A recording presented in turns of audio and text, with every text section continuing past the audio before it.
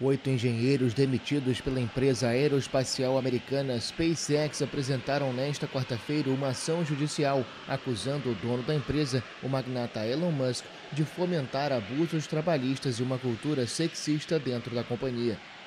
A queixa civil apresentada em um tribunal de Los Angeles sustenta que Musk demitiu as quatro mulheres e quatro homens depois da publicação de uma carta aberta detalhando as preocupações e pedindo ao conselho de administração que se distanciasse do chefe da companhia.